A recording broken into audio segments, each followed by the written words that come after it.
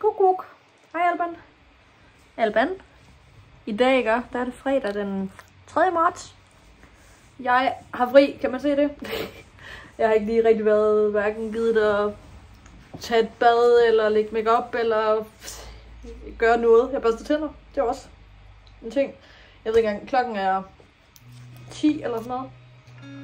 Og Alban, han... Øh... Jeg har tre sammenhængende fridage.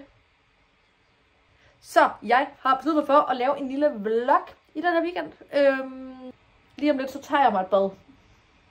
For jeres skyld. Ej, også lidt for min skyld. Alban han ligger der, og øh, jeg har fået øh, min morgenkaffe i dag. Jeg er lidt booktube på tv, og øh, herover er jeg i gang med at uploade, eller jeg er i gang med lige nu at, at eksportere en, øh, en video øh, til YouTube, til min egen kanal. Og Alban han ligger bare her og chiller. Altså Alban, har du lige fundet en klo? Altså, jeg er jo i gang med at læse Royal Assassin. Øhm, og jeg har læst 240 sider i den, så jeg mangler stadig cirka 400 sider. Den er vildt god. Jeg elsker den. Jeg har lyst til at læse i den. Det kan godt være, at jeg udsætter den en lille smule den her weekend. Det vil vise sig. Jeg, altså, så læser jeg bare en lille smule i den, men at det ikke er sådan min primære bog. De her bøger, som jeg kommer til at sådan prioritere at læse. Men det vil vise sig, i hvert fald.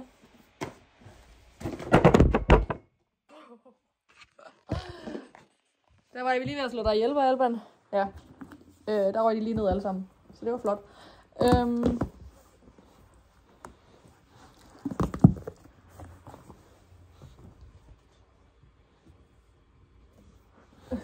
Ja, hvad var det? Hvad? Hvad? Ja. Ja. Oh, her. Må hellere komme i sikkerhed. Oh. I hvert fald, så er det min umiddelbare plan at få læst lidt der og lavet en masse hyggeligt. Hvad synes du? Skal vi læse en masse den her weekend? Yay! Vi vil gerne læse! Som I kan se, så er jeg blevet ren. Jeg har fået vasket hår. Jeg tror faktisk, at den her video næsten er klar til at komme op. Øh, og så er den oppe. Skal vi lige prøve at se på min kanal. Se nu der. En lille Gabriel Sevin video.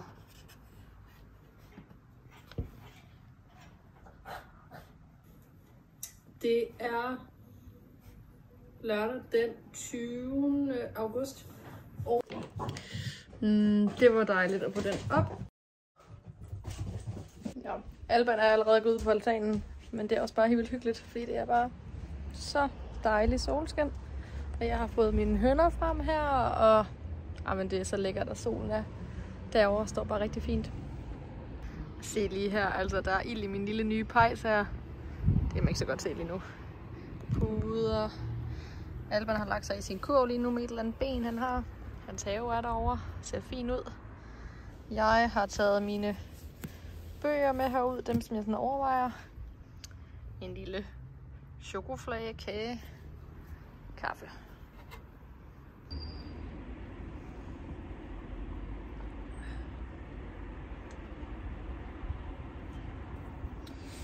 Åh oh, ja, så er det bare det der med at lige finde ud af, hvad jeg skal læse først.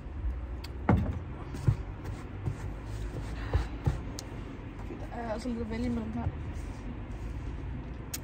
Øhm, jeg mangler lige øh, fem sider kapitel, så jeg starter lige med at læse det sidste i den.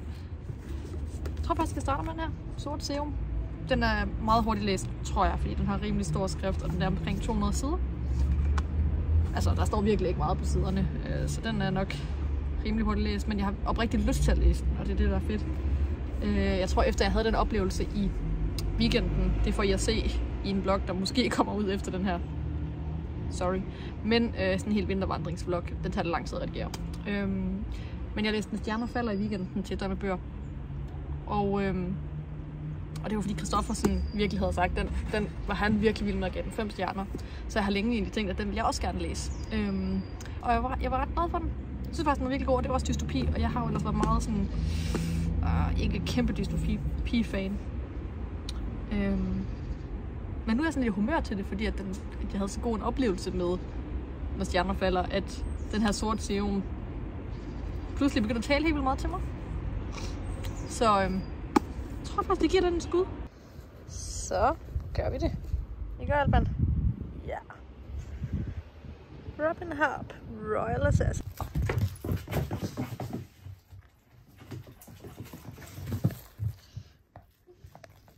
Alban hygger sig med sin and.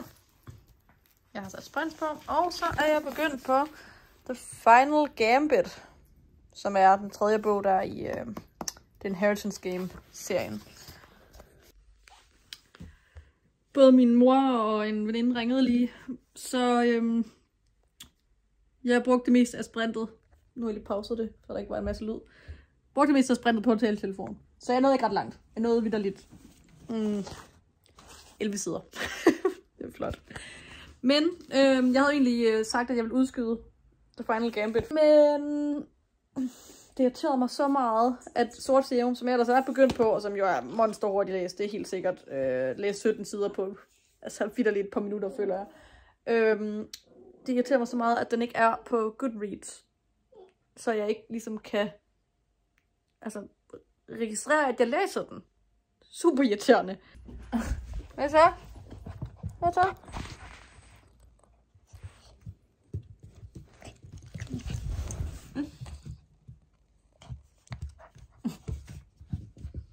Hvad er der med dig? Hvad?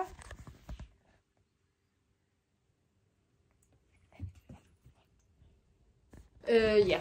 Men i hvert fald, så, øhm, så besluttede jeg som for besluttede jeg mig for, i stedet for at bare få øh, gå i gang med den her. Og øh, Amanda er også begyndt på den i dag, øh, faktisk. Ah, ah, ah, ah. Hej. Har du flodhesten med? Altså, altså, serien handler jo ligesom om den her Peter Avery, som ligesom får sådan en mystisk besked om, at hun har arvet en hel masse penge, som i sådan millioner, milliarder, kæmpe beløb, ikke? Øhm, fra en eller anden, hun ikke ved, hvem er. Og, og hun skal komme ud til det her, det her sted, og det er så den her Hawthorne Family, og derfor bogen to hedder det Hawthorne Legacy. Øhm, og hun forstår ikke, hvorfor hun har arvet pengene, og så er der selvfølgelig nogen, der... Der er en masse drama. Det er svært at sådan lidt forklare, hvad der sker, uden at komme til at spoile et eller andet. Men der er sindssygt meget drama omkring det her, og i familien er der selvfølgelig meget uforstående, fordi der er ikke rigtig nogen af de andre, der, der arver noget. Så en eller anden fremmed pige, en eller anden fremmed pige har arvet en masse penge, og de ved ikke hvorfor, og sådan, ja.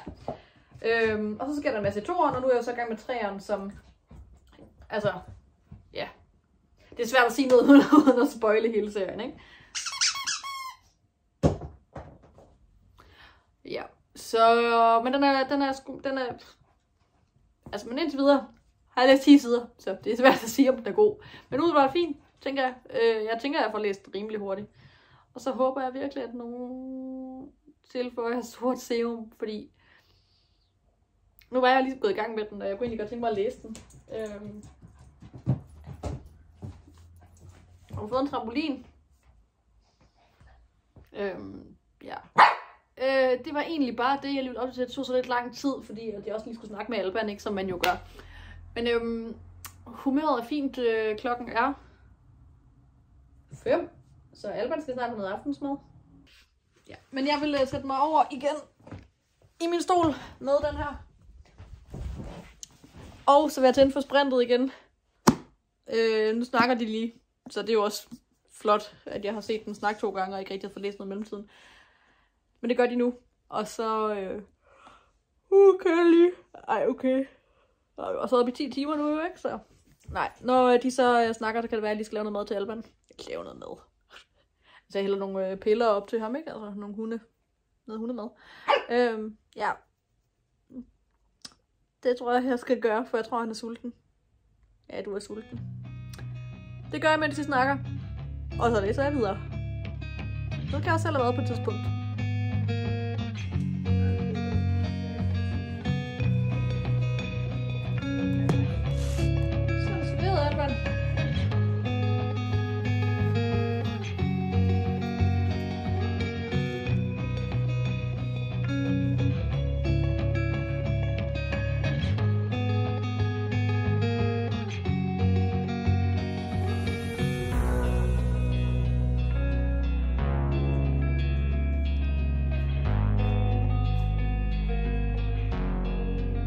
Så er det simpelthen serveret.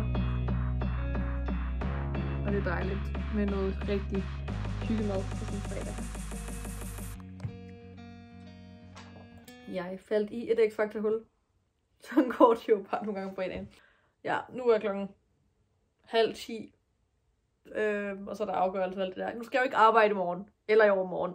Så selvom mormor her, hun som regel er træt på det her tidspunkt, og Alban er gået fuldstændig kold under stolen, så behøver jeg jo ikke gå i tidlig seng. Jeg læser 50 sider.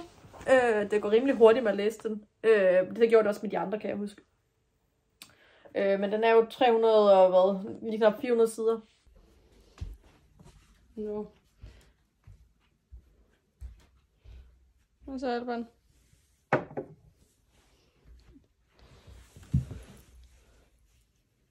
Starter vi hver morgen med at skulle op og sidde her i stolen, ikke? Ja, vi skal op, du skal op og sidde. Ja, ja det skal du. Godmorgen. Øh, jeg ved faktisk ikke helt klokken er... Nu er den timer 9. Tiden går hurtigt. Øhm, men øh, Alban kom så hyggeligt og vækker mig der klokken 8. Det var dejligt at sove længe i dag. Øhm, det er ikke så tit, jeg gør det. Så det var skønt. Jeg har sat Godmorgen Danmark på. Jeg holder totalt læsedag i dag. Kan man overhovedet høre noget, det er kroatisk? Så. Øhm, jeg øh, fik læst øh, lidt videre i går i den her, øh, inden jeg gik i seng, så nu er jeg på side 85, tror jeg nok. 87.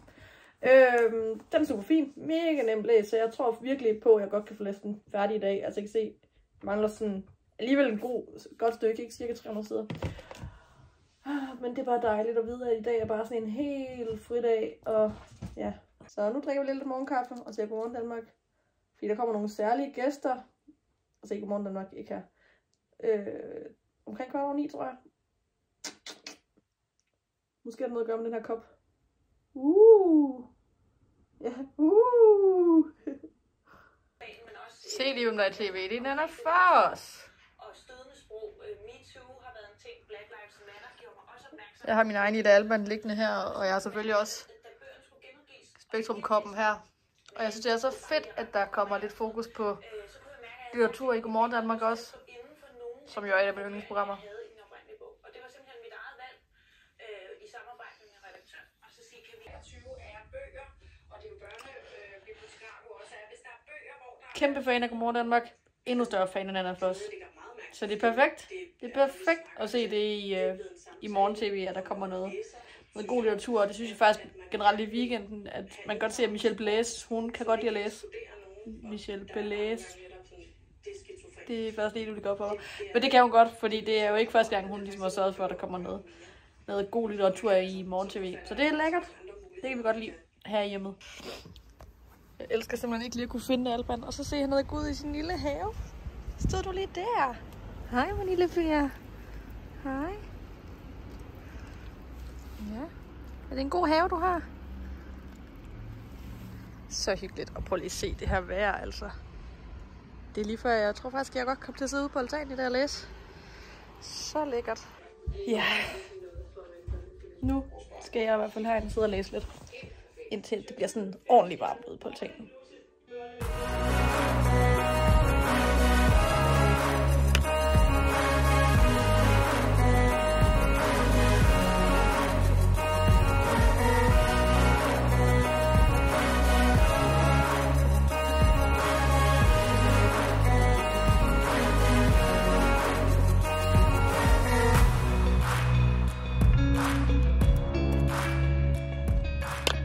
Jeg blev færdig med uh, The Final Gambit for en times tid siden, eller sådan noget. Jeg ved ikke engang faktisk ikke helt, hvad klokken er. Men det er også lige meget. Når man har fri sådan flere dage i træk, så må man det bliver lidt ligegyldigt, hvad klokken er, ikke? Nå, men øhm, ja, så jeg er færdig med trilogien nu. Så kommer der den der bog mere, som jeg lidt... Jeg tror altså ikke, det er en del af sådan en trilogi. Jeg tror, det er sådan en sidehistorie. Never mind. Jeg synes, altså det er sindssygt fast-paced, de her bøger. Det er virkelig fedt. Det, det er super nemt at læse, og og der er sådan virkelig godt, øh, godt flow i dem på en eller anden måde. Jeg synes, de falder lidt i kvalitet. Altså, jeg synes, den første bog var virkelig god. Altså, jeg synes, den havde alt det, man har brug for i sådan en god familiedrama, og der var så mange fede dele i den bog, og man var virkelig sådan hele tiden sådan, jeg må vide, hvad der foregår. Og så kom nummer to, The Hawthorne Legacy, som også var rigtig god, men som skulle, altså, jeg følte lidt, den trak nogle ting i langdrag, som ikke var så nødvendige igen, men jeg kunne stadigvæk godt lide sådan hele det overordnede, der var sådan målet i den bog. Der har ligesom været i hver af bøgerne sådan et eller andet form for mysterie, en gåde, de skulle øh, løse sådan overordnet, ud over det, der ellers er. Det er sådan totalt spind af alt muligt, ikke? Og der synes jeg måske, at den sidste, den blev sådan lidt lang i noget. Fordi det, det er sådan... Jeg føler, det var lidt let for dem at gætte, løse, hvad man skal kalde det, rigtig mange af tingene. Men det tog rigtig lang tid alligevel. Nu skal jeg videre til en anden bog, men først så er jeg lige i gang med et lille Krea-projekt her, der involverer sådan nogle små bøger her. Jeg er i gang med You sæson 4, som jeg lige sat på, mens jeg har siddet og klippet alle de her bøger ud. Det her, det er de bøger, jeg indtil videre har læst i år. Øh, her har jeg lavet nogle, som I kan se. Og så ender de nemlig med at være sådan her, som den her, som faktisk var den første bog, jeg læste i år. Den fik jeg i julegave. Øhm, og så har jeg nemlig sådan en her, som jeg har købt der på ferie. Der er så den her plade, der skal ligesom ned bagved. Sådan. Og så kommer det simpelthen til at være fyldt hernede i med de bøger, jeg læser i løbet af året.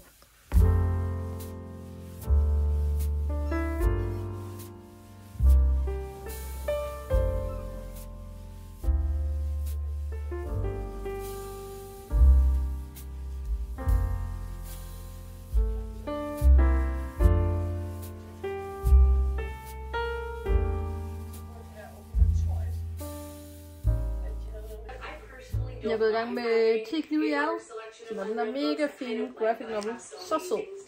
Har en lidt rest slik her. Jeg har ikke mere derude, men noget af det fra i går. Og så ser jeg Reagans videoer, som jeg elsker.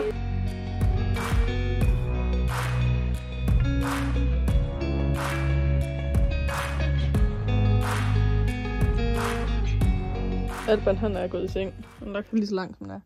Jeg har lige læst 10 nu hjertet færdig. Altså shit, hvor var den bare mega cute. Jeg har også lige gjort mig seng klar. Men ej, hvor var den god. Altså, det er virkelig sjældent, at jeg bliver sådan oprigtigt fanget af en graphic novel. Altså sådan, øhm, jeg kan godt lide graphic novels, synes, det er virkelig skønt, og jeg har læst mange gode. Men rigtig ofte synes jeg, at de sådan lidt... Øhm, det er mere et spørgsmål om, at jeg synes, at de er, er, er flot lavet. Og at historien kan være sådan fin. Men det er sjældent, at jeg sådan faktisk virkelig sidder med den, og jeg er sådan... Ej, jeg, jeg er nødt til bare at læse videre. Øhm, men sådan havde det faktisk med den her. Altså, det er som om, at den bare den, den ramte et eller andet i mig, som... Ja. Så øh, kan I sove godt? Oh. Uh. Godmorgen. Så blev det søndag. Og Alban, i dag der skal vi ud og gå en tur, ikke? Ude ved stranden. Det ved du bare ikke endnu. Du forstår det heller ikke helt.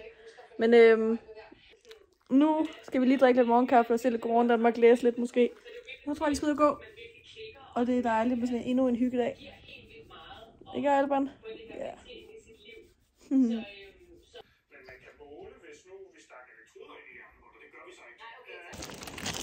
Så er vi lige på en lille strandtur her ved Nordenhuse ved Nyborg.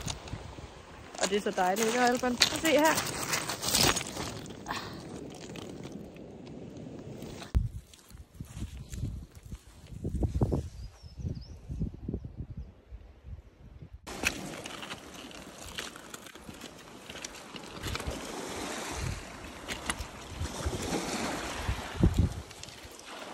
Hvad er det?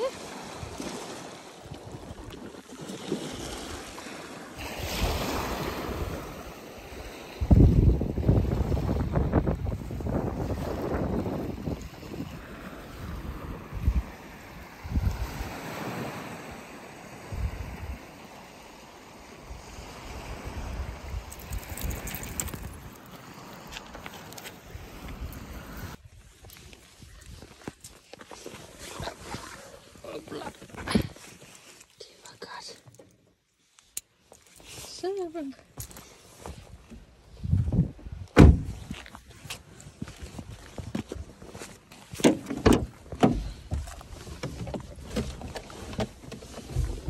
Nej, nej, nej, kan du komme over i din kurv igen, du? Wup, så, må se dig. Var det en god tur?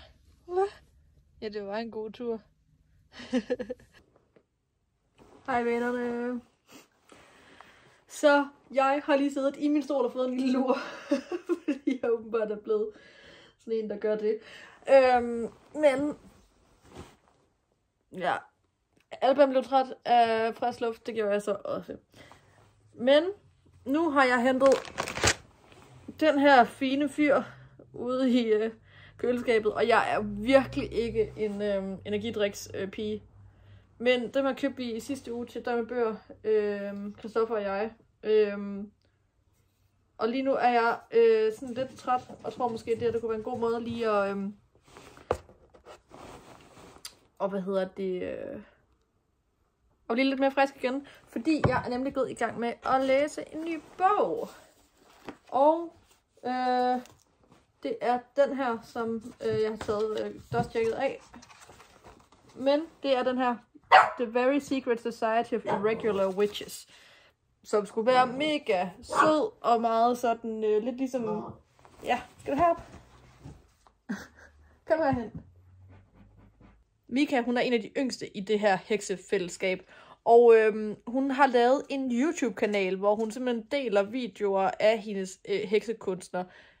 Under øh, dække, at hun selvfølgelig ikke er en rigtig heks, fordi de må selvfølgelig ikke sige til nogen, at de er rigtige hekse. Så øhm, folk ser hende gøre de her ting, og går selvfølgelig bare ud fra, at det er fake det hele. Indtil der så pludselig er en dag en, der opdager, eller opdager, opdager, han har i hvert fald en idé om, at det her godt kunne være rigtig heksekunst. Så han kontakter hende øh, på en mail og skriver, øh, vi har brug for dig, vi har brug for, at der kommer en og underviser vores øh, børn i heksekunst. Og hun tænker, okay, det er lidt mærkeligt det her, og skriver lidt frem og tilbage med ham, finder ud af, at den er altså god nok, der er et eller andet her, så hun kommer hen til det her hus, der hedder Nowhere House, og det er der, jeg lige er kommet til, men øh, her skal hun bo og undervise de her børn, og så ved jeg ikke så meget mere, men jeg har en idé om, at det bliver ret cute. Øhm, ja, jeg har, har en god fornemmelse af den her bog. Det har jeg virkelig. Øh, sproget er virkelig skønt, og øhm, det er lige det humør, jeg er i nu, det er at læse sådan noget. Og som I ved, så læser jeg ikke bagsidetekster, eller i det her tilfælde øh, flaptekster, eller hvad man kalder det. Øhm, og grunden til, at jeg egentlig faldt over, at jeg gerne ville læse den her bog, det var øh, på YouTube, tror jeg, at nogen øh, nævnte det her med, at det var sådan lidt øh, TJ Klune-agtig, sådan House in the Cerulean Sea vibes. Og så har jeg ikke rigtig brug for at vide mere, må jeg sige. Og altså indtil videre på de her, hvad har jeg læst, 35 sider. Jeg er helt enig. Altså, det kan kun gå den vej. Jeg er sådan virkelig den der følelse i maven af, at det her, det bliver godt.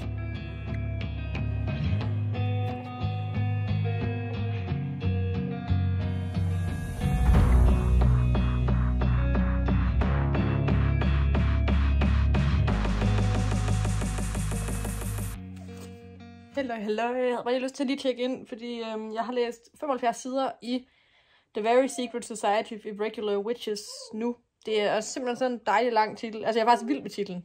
Den er genial. Hvad er der med dig?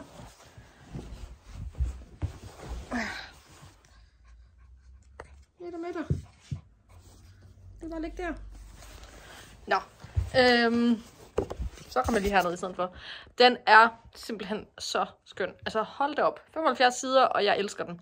Øhm, og særligt sådan, fordi karaktererne der er med, ikke? Altså, øh, igen, jeg, jeg gentager det bare. House in the Cerulean Sea vibes. Altså, der er for eksempel den her, der er den her pige, ikke, som er en af heksene. En af de små piger, der er hekse, der hedder Terracotta, for det første. Fedt navn. Hun er bare så genial. Altså sådan, hun er sådan... Jeg ved ikke helt, hvordan jeg skal slå dig ihjel, men det kommer nok til at ske. Altså, der er en passage, hvor... Altså, det er ikke noget med at spoil noget, det er bare fordi, det siger bare alt om, hvordan den her bog er. Hun har taget en uh, sort kjole på, og så siger Mika her, der jo er kommet til deres hus. Kan du lige have den her? Øh, at det er en flot kjole, og siger hun, ja, men det er fordi, jeg skal muligvis til begravelse senere, og hun siger, øh, muligvis, ja, det kommer lidt an på, hvordan jeg slår dig ihjel. var sådan, psykopat pige, ikke? Sådan 8 år, eller hvor meget hun er, tror jeg. 8, synes jeg. Men det... Hvad...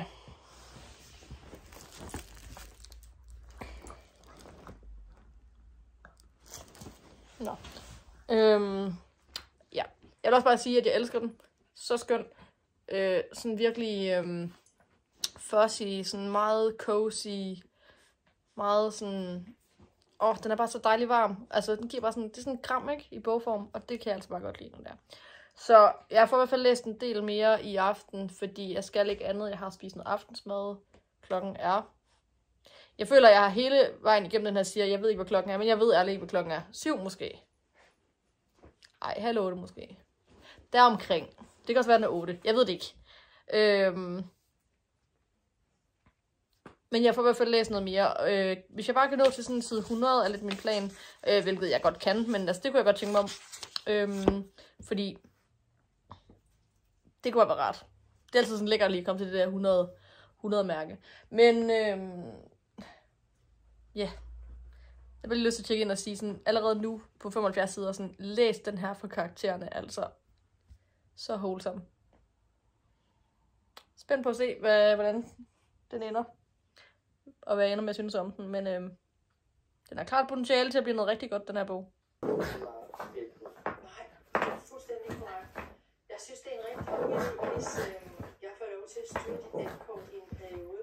Du må købe alt, hvad du vil, undtagen det forkerte mad. Og det ved jeg godt er rigtig svært for dig at lade være. Så vi gør det, at øh, vi fremover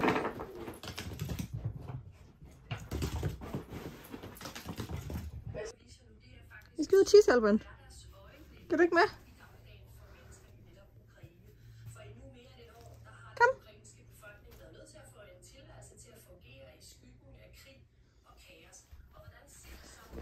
Du skal da med ud og tisse.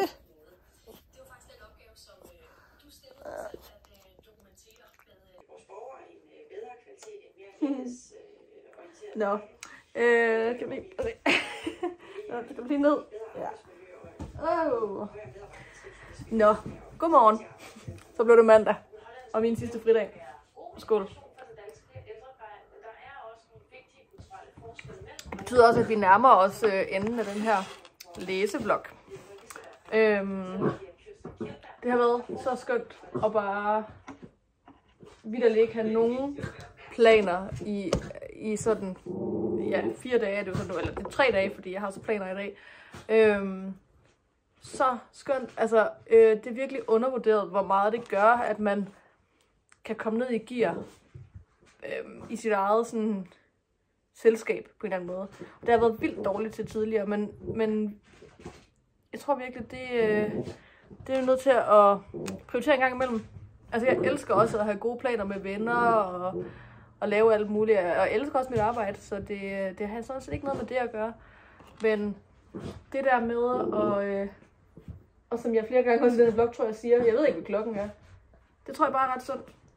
At man egentlig bare lever i det, man er i, og så er det bare dejligt. Jeg blev meget, øh, sådan, øh, meget reflekteret og meget... Øh, Nå, nu har jeg som sagt lidt planer i dag, øh, og det er også øh, så fint. Det glæder mig også til at skulle gå en tur med en veninde, og jeg skal til psykolog, og det er så fint. Øh, men jeg skal i hvert fald også læse videre i The Very Secret Society of Irregular Witches, fordi, because, jeg skulle lige til at tage den videre, fordi den, den er så god. Øh, og jeg nåede til side 107 i går, så jeg nåede forbi det der 100 øh, mærke, jeg egentlig havde talt om. Jeg tror også godt, jeg kunne nå nået endnu længere, men jeg blev simpelthen træt øh, til sidst øh, og måtte gå i seng. Men den er så god. Altså, jeg elsker den. Og det er sådan en bog, hvor jeg sådan lidt... Ligesom med The House in the Cerulean Sea, selvfølgelig er der alle mulige sådan, øhm, øh, større meninger med mange ting og sådan noget, men den, den har bare... Øh, den har bare den der sådan godhed, den der varme, det der kram i bogform over sig. Og sådan nogle bøger kan jeg bare godt lide. Det er sådan feel good, men men altså, jeg kan ikke forklare det andet end, altså, det her det er et kram. Det er sådan, jeg kan forklare det. Øh, den er bare sådan, det er sådan, den er sådan blød at læse. Den er sådan, den er sådan varm. Den giver mig sådan en, en god følelse i kroppen. Jeg har ikke lyst til, at den stopper. Og så må vi se, hvor langt den når i den her i dag. Det er i hvert fald planen, at jeg skal, at jeg skal læse i den. Og ikke bare fordi, altså jeg har faktisk, normalt så kan jeg godt have sådan en følelse af, ej, så skal jeg have læst den færdig i dag, fordi det kan jeg godt. Men jeg får slet ikke lyst til at læse den færdig, for jeg har lyst til, at den bare fortsætter den her bog. Så egentlig ville jeg synes, det var så fint at bare hygge med at læse den i dag. Øhm, og så stadigvæk har noget tilbage i morgen, eller i overmorgen, eller hvornår det nu end er. Øh, for jeg kan sagtens læse den færdig i dag. Altså, det kan jeg godt nå. Den tager ingen tid at læse. Og det kan også være, at jeg gør det. Men det gør mig heller ikke noget, hvis jeg i morgen, når jeg kommer hjem fra arbejde, ved, at jeg har den her at se frem til. Og det er altså en rar følelse, når man læser, at det heller ikke kun handler om at blive færdig med bøger, men rent faktisk at være i bogen. Fordi man kan godt blive lidt, nu bliver det altså meget øh, eftertænksom alt det her. Øh, men man kan godt falde ned i sådan et hul, hvor at, øh, det handler om at blive færdig med bogen. Altså når du starter en bog, så er det sådan en, uh, nu glæder jeg mig til, at jeg snart er færdig med den. Hvilket egentlig er super mærkeligt. Og det er først lige nu, hvor jeg sidder her og tænker over det, at det er jo ikke fordi, man ikke nyder bogen, når man har det sådan. Men det er sådan en, jeg tror bare, det ligger i en, at godt, nu er jeg startet. Ej, jeg var kun 200 sider, så kan jeg godt blive færdig i dag. Hvorfor? Ja. Nej, det er også, øh, det var bare lige en lille tanke, fordi nogle gange er det bare et spørgsmål at blive færdig. Nogle gange er bogen heller ikke særlig god. Så er det fint nok. Men med sådan en som den her, der er det virkelig sådan en, jamen den skal da ikke slutte. Fordi jeg elsker at være i den. Ja, måske har I det på samme måde nogle gange. Nu fik jeg i hvert fald lige mine tanker omkring det. Og jeg elsker bogen. Og skål. Jeg elsker kaffe. Nu også i min bog. Altså for fan. Så var det fordi, de havde fået en forkert konstruktion. Nogen havde stukket med en forkert... Øh, stående stod, og så stod der Lala, og så, må de finde... Og de står og så kigger på hinanden. Ja, og uh, Walt B, han står jo og kigger på den og er sådan, oh, skal jeg sige det her? Det er jo Ja, ja. forkert, og så giver han den videre til Faye Dunaway. Så bare læser op. Ja, ja. Hey, det er Lalaland, der vinder. Ja, og det var det så ikke. Og så er der så en mand, der må gå på scenen og sige, det var fejl, det Er det var undskyld, det var muligt, det var jer, der vandt her, ikke også? Altså. Altså, man kan sige, det gode at jo Lalaland. Det var dem, der næsten vandt bedst af der. Øhm, hvis vi så tager øh, den seneste skandale, tror jeg næsten, vi bliver nødt til at kalde det. Vi kan jo nok ikke rigtig komme udenom og snakke om det til. Nej, altså øh, sidste år, der ser vi jo øh, et fuldstændig vanvittigt op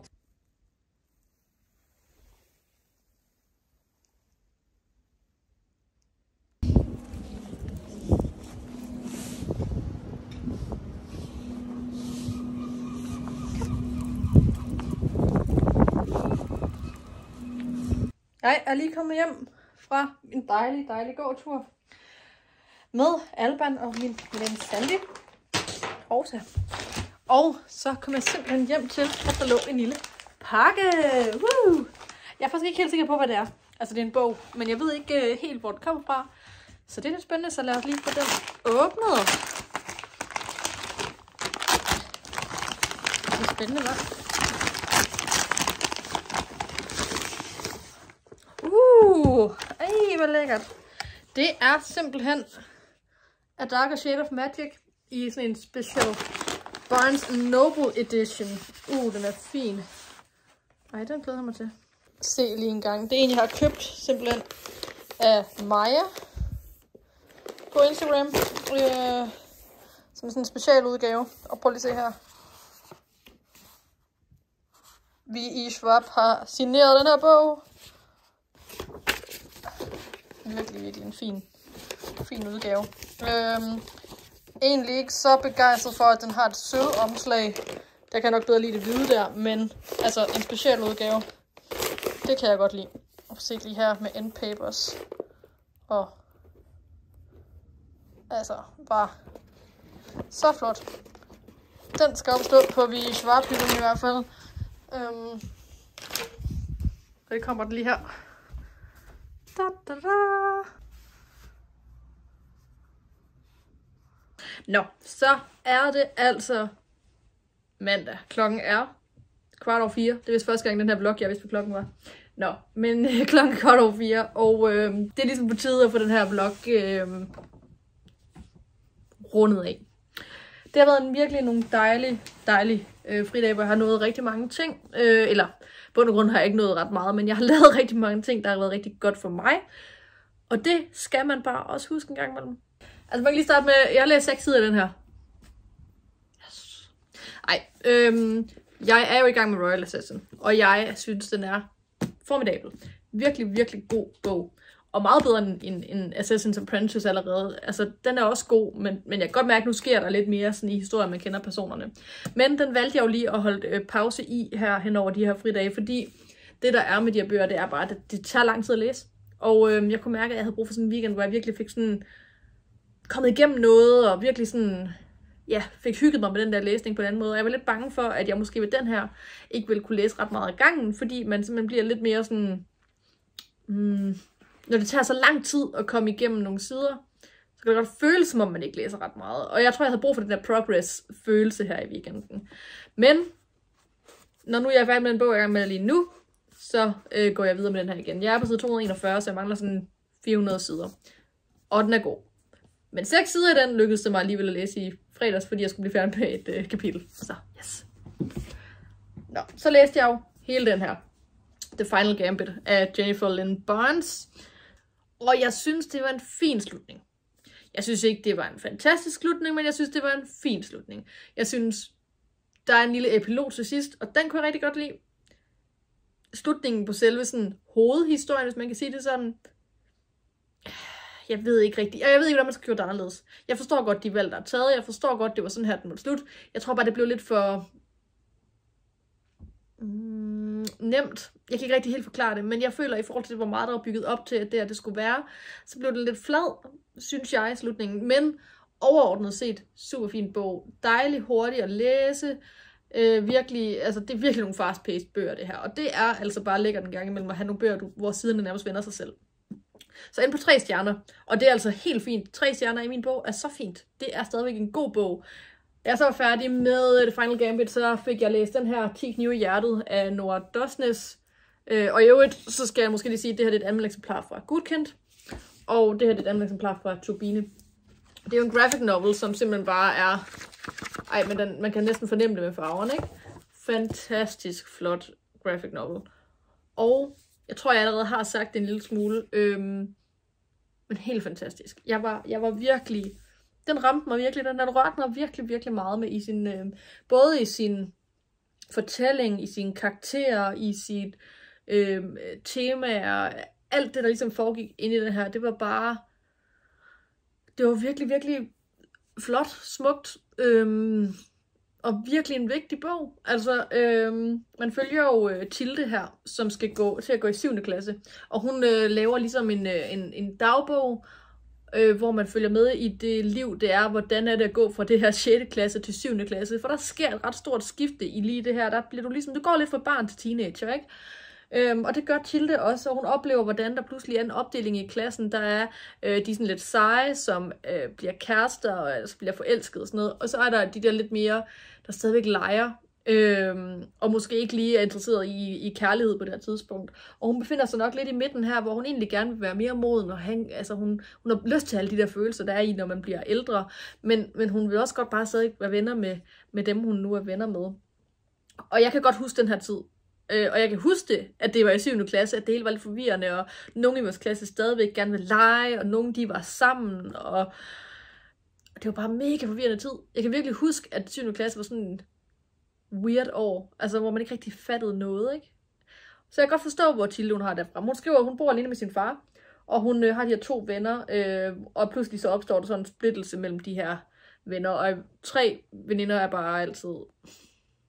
Når man, er, når man går i folkeskole, så er, det, så er det bare ikke så nemt. Og så handler det bare om, hvordan hun ligesom faktisk alligevel oplever den her forelskelsesfølelse, og hun ved ikke rigtig, hvor hun sådan skal gå til, hvem skal hun støtte, hvem skal hun holde sig til, og det er faktisk bare ikke ret nemt at være, at være til det. Øh, hun beskriver det faktisk helt vildt godt på et tidspunkt, og det er, det er simpelthen nødt til at, øh, at vise, fordi sådan kan jeg virkelig godt. Øh, men det er bare helt perfekt måde. Altså det her. Kan man se det? En ensom banan, som ingen vil have. Mig nu, tilbud. Ej, men altså... Den følelse kender man godt ikke. Det der med at være en, en ensom banan, som ingen vil købe. Gud skal lov, jeg ikke i 7. klasse mere. Jeg er glad for, at jeg ikke går i 7. klasse mere. Øh, det er ikke altid nemmere at være voksen, men altså... 7. klasse, folkeskole. Ej, vel. Men øh, jeg elskede den. Virkelig, og jeg kommer til at pushe den på alle øh, øh børn og unge, jeg kender, fordi den er så vigtig. Den siger så meget om nogle af de følelser, vi kan have, og den måde, vi føler, vi både skiller os ud og bliver en del af mængden, og hvordan er vi anderledes, og hvordan vil vi gerne både være anderledes, men vi også godt bare ligne de andre fuldstændig, og hvordan takler man egentlig alt det der rod, der pludselig kan opstå ind i hovedet på det tidspunkt, fordi der begynder at være nogle hormoner, og der begynder at være alt muligt crap, man skal forholde sig til, ikke? Ja. Øh, kæmpe anbefaling. Fem stjerner. Jeg tror, det er en af de eneste gange, hvor jeg virkelig i en graphic novel har følt det her med, at jeg oprigtigt var opslugt af historien. Ikke kun fanget af flotte illustrationer, eller sådan en dejlig gennemført måde at lave den på, men virkelig sådan, den her bog ville jeg også godt have læst uden illustrationerne. Altså, og det, øhm, det synes jeg var også skønt. Selvfølgelig øh, bliver, det, bliver det en femstjernet, fordi der er den her sammenhæng mellem illustrationer og, og tekst.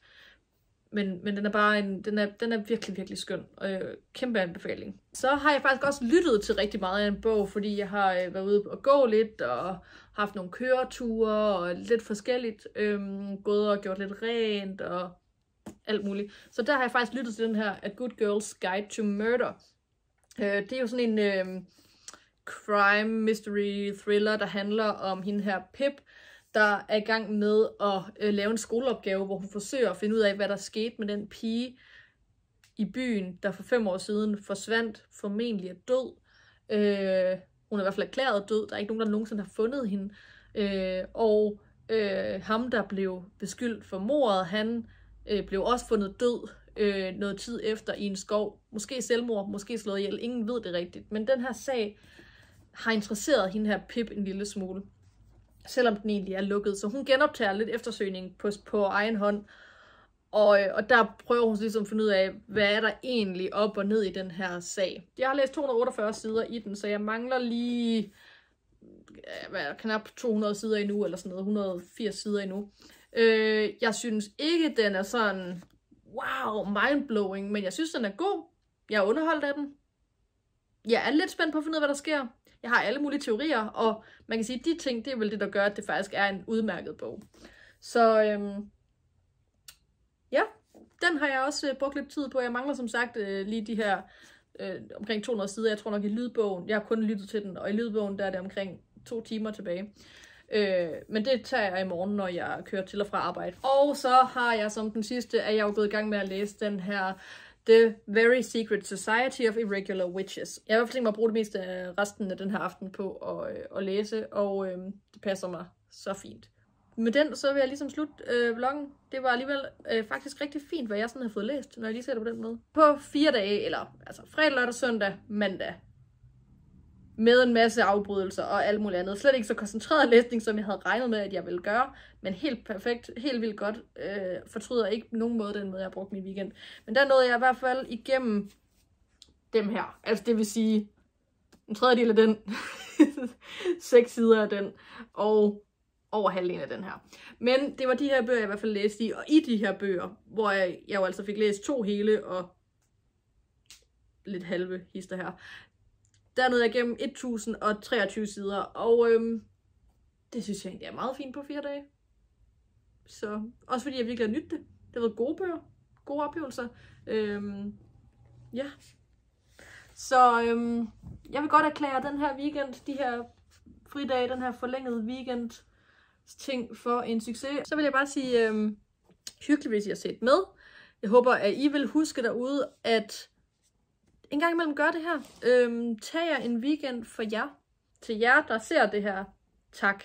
Det er mega motiverende, at I ser med, og at I giver mig respons. Øhm, jeg gør totalt det her for min egen sådan hygges skyld. Jeg synes, det er helt vildt hyggeligt, fordi jeg også elsker at se andre gøre de her ting. Men jo mere I er så søde som I er til at skrive, at øh, hvad I kan lide, og hvad I godt kunne tænke jer, jo mere får jeg også lyst til at blive med at gøre det. Hvis I ikke har lyst til at blive med at gøre det, så må jeg godt skrive det. Jeg tager imod alt, alt kritik. Øhm, I hvert fald så synes jeg, at I er mega nice, og jeg synes, det er så dejligt, at det her bogunivers bare kan få lov til at fylde så meget, som det gør nu. Det er bare skønt. Så kan I have det godt derude, og husk at holde sådan nogle weekender for jer selv en gang imellem. Det kan kun anbefales. Ses.